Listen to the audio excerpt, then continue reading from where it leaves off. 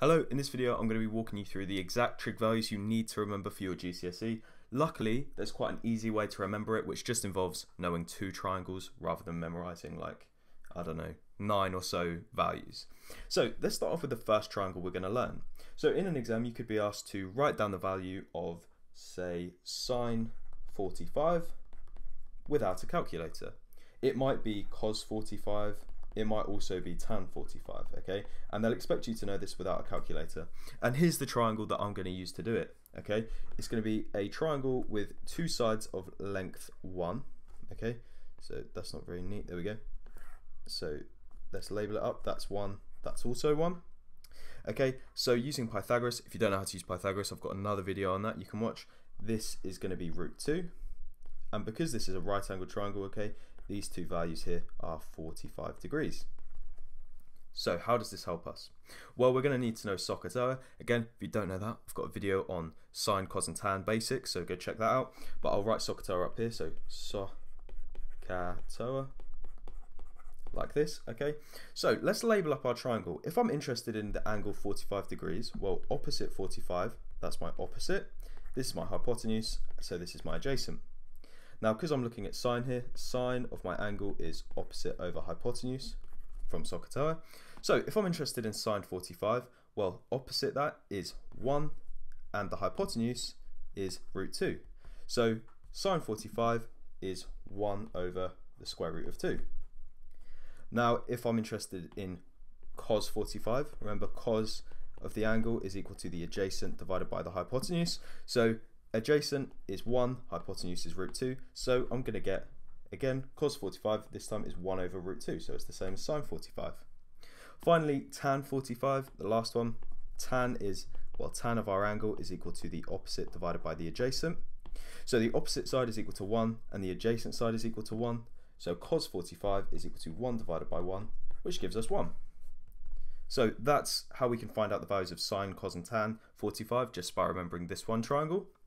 Now the other triangle we're going to do helps us remember the values of sine 30, sine 60, but also cos 30, cos 60, tan 30 and tan 60. But rather than work out every single one, I'm just going to do these three to save time. So here's the triangle that we're going to need to remember for this, okay? And it's going to look something like this, okay? Uh, that's not amazing. It's going to be an equilateral triangle, okay, and each side is going to be length 2, like this. And because it's equilateral, that means that each angle is going to be 60 degrees. So let's draw all these on. Okay, so this is what you need to remember. If you can do this, you just need to change one little thing and then you're done. So what I'm going to do is cut this triangle in half, like that.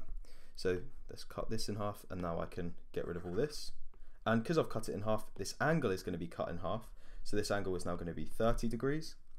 And using the reverse of Pythagoras, well, this is now cut in half, so this length is now 1. I can work out that this is now root 3, okay, using like the reverse of Pythagoras. So how does this triangle help me? Well, say I want to use sine or calculate sine 30. Again, let me write down SOHCAHTOA. And I'm looking interested in sine, so I'm doing sine of my angle is equal to the opposite over the hypotenuse.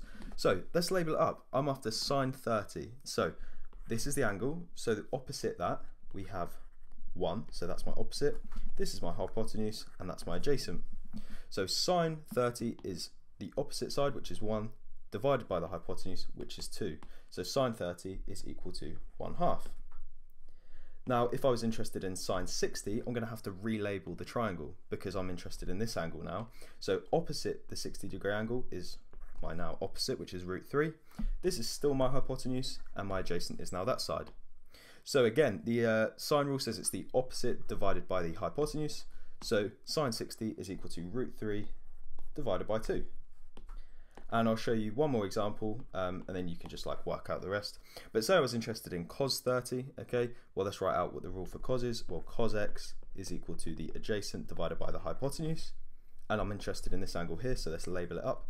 This is my opposite, this is my hypotenuse, this is my adjacent, and cos is the adjacent side divided by the hypotenuse, which is 2.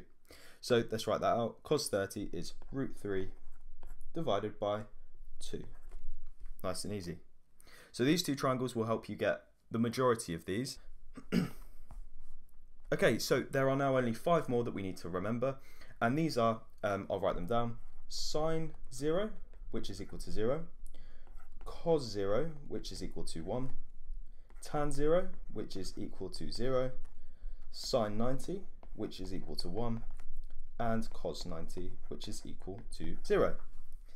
Now, to remember these, you could just look at them and be like, okay, I need to remember these and just keep practicing them until you know them. Or the way I would probably do it is by drawing their graphs, if you know the trig graphs. So, I'll show you what I mean. So we know on the x-axis, that's our like angle, degrees, and our y-axis here. So let me start off with sine, okay? That's my sketch of a sine graph. I know it's not that great. So here's 0, this would be 90, 180, 270, and 360. So say I'm interested at sine at the point 0, well that's here, and my y value there is 0, so that's how we get that one. Cos 90, that's this point here, well that's where the graph is at the point 1, its highest point. So I could work that one out, sine 90 is equal to 1. Let's do the same now, but for the graph of tan. So let me rub this out, and I'll redo these because I probably won't be able to do it that neat. So cos graph looks something like that, where we've got 0, 90, 180, 270, and 360. So if I want cos at the point 0, that's here, where you can see the output is 1, so that's how we could work that one out. And cos at the point 90 here, well that's 0, so cos 90 is 0.